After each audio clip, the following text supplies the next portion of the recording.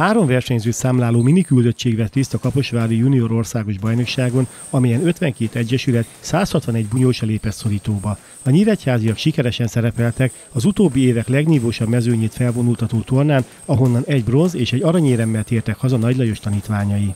A 46 kilós Módoványi Bence teljesen kezdő volt, tehát ő neki a tapasztalatszerzés volt a cél, de jól helyt állt.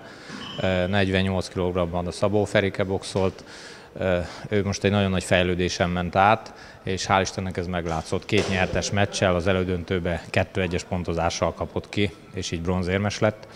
A 57 kg-ban Kovács Rihárdal utaztunk, hát igazán titokban az aranyérem volt az elvárás tőle.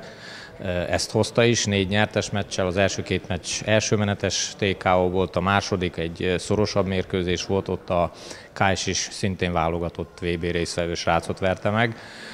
A döntőbe pedig iskolaboxsal győzte el az, MTK-s, az MTK versenyzőjét és nem különben megkapta a Junior OB legjobb versenyzője külön díjat is.